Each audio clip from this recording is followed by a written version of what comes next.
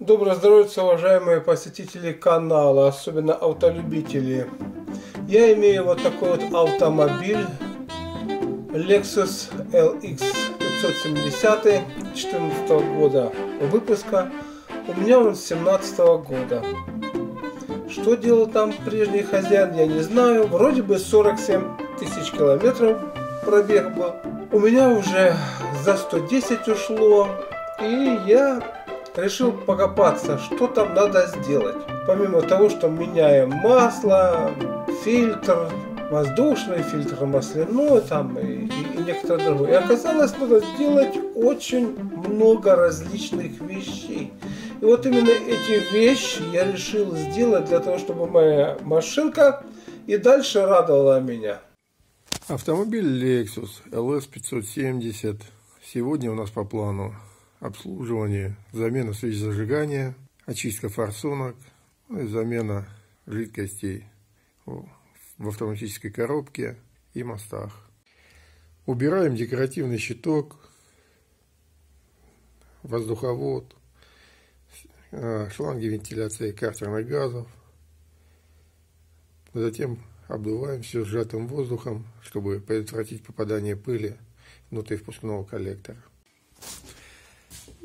Ну, демонтировали боковые накладки декоративные, обдул воздухом.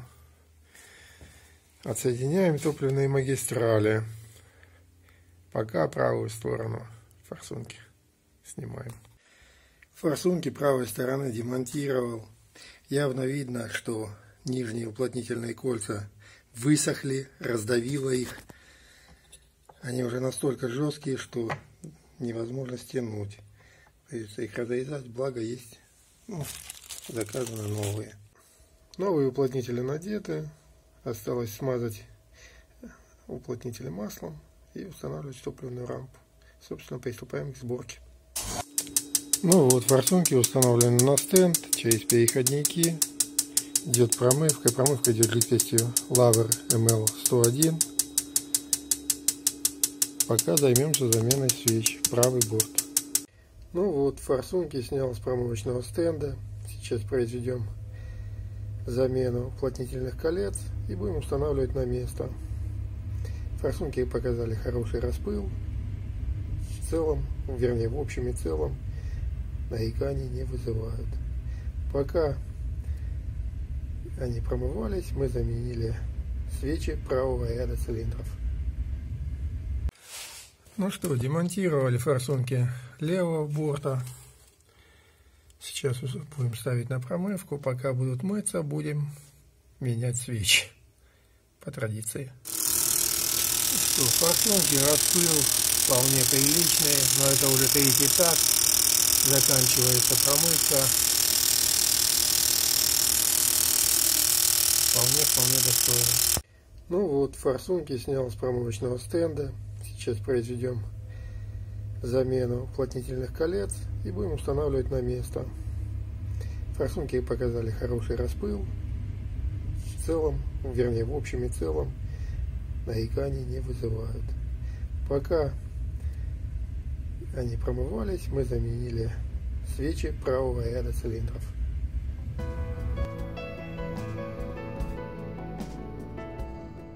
Наконечники катушек зажигания перед установкой обрабатывать, чтобы не было ни грязи, ни пыли, чтобы статических пробоев потом по ним не проходило. Ну, собственно, замена свеч зажигания. Свечи опускаю на направляющий, чтобы при ударе одно колодце не изменился искровой зазор. Вот менять то еще удовольствие, хотя левая сторона все-таки попроще правой. Дальше подтягивается динамическим ключом. Ну, собственно, так. Устанавливаются точно такие же свечи, оригинальная, каталожный номер видно на коробочке. Так. Здесь явно видно электродик ровненький, чистенький. Ну, новая свеча. Демонтировали четвертую свечу правого ряда. Вот, вот на видео видно, электрод, конечно, подвыгорел, но в принципе вполне еще нормально. Скажем так, замена своевременная, не переездила ничего. Ну вот, форсунки установлены на место. Так, не проглядываются. Двигатель чистый, сухой. Ни в мойке, ни в очистке, ни в замене прокладок. Ни в чем не нуждается. Все как бы замечательно, все хорошо. Заканчиваем сборку правой стороны. Как еще раз э, повторюсь, была произведена очистка форсунок и замена свечи зажигания.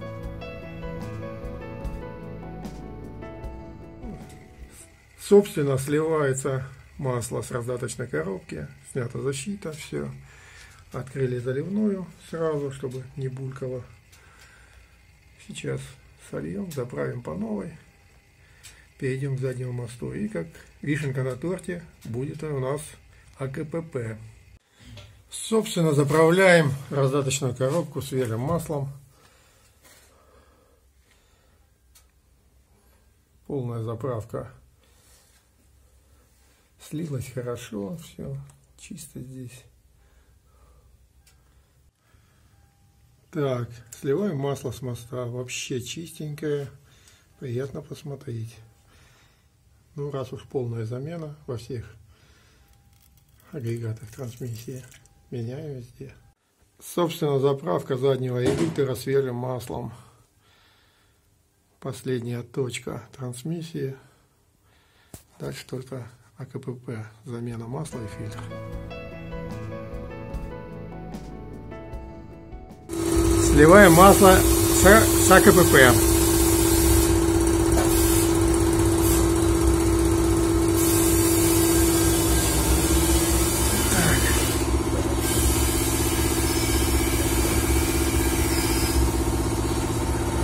по идее за раз у них сходит в районе 4 литров больше. Ну, а там посмотрим. Перед тем, как демонтировать поддон с АКПП, максимально стараемся очистить стыки, чтобы как можно меньше грязи было, чтобы меньше занести ее внутрь. В идеале, конечно, совсем не заносить. Так. Ну что, замыли, начинаем демонтаж.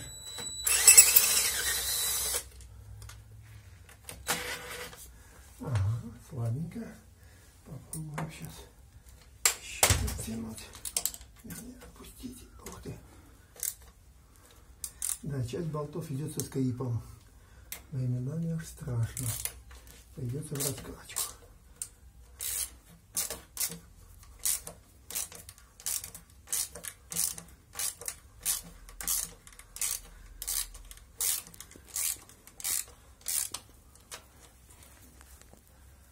ржавые, но не бесполезные.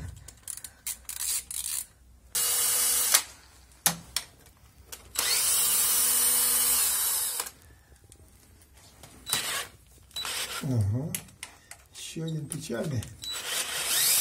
Нет, пошел.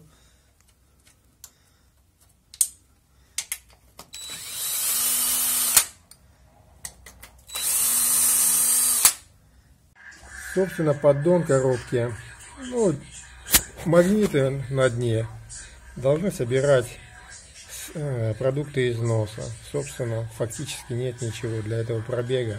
Отлично. Сейчас моем поддон, меняем фильтр, собираем. Откручиваем фильтр. Собственно говоря, последний болт остался. Ну, одновременно снимать и откручивать сложно, так что, думаю, и так все понятно собственно, гидроблок. Сейчас сухи, э, чистыми салфетками помокаем все это дело. Вот. Обезжириваем поверхность, ставим новый фильтр. Вот. Сложно да, снимать и работать одновременно. Да. Соленоиды. Соленоид регулировки давления. Что здесь увидишь? Особо ничего не видно. Сейчас замываем, ставим новый фильтр, собираем. Собственно, новый фильтр установлен. Обезжириваем прилегающую плоскость поддона по мере силы и возможностей. Полностью обезжирить фактически не получать, потому что объем масла большой. И стекать оно будет до скончания века. Ну, собственно говоря, поддон на месте. Насколько можно было обезжирили, посадили. Заправляем свежую жидкость. Вон заливная пробочка, ее видно. Ну и, собственно, уровень масла выставляем. Прогрели коробку. Контрольное отверстие, двигатель заведен. Так, видно плохо. Так, давай потихоньку. Второй специалист.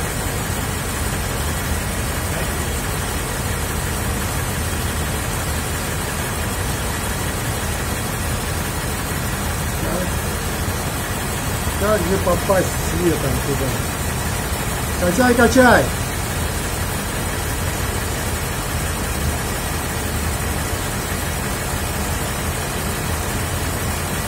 Это уже, собственно, вторая. Все, стоп!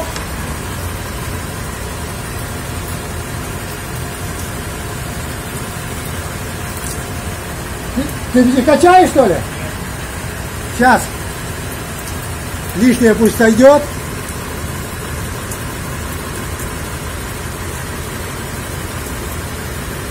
Сейчас нажи, нажимлю. Так, держи. Весь облился. Ну вот, собственно, избытки масла вытекли. Закрываем пробку, глушим автомобиль. Ну вот, ласточка моя, он же Моби Дик, он же Беляш.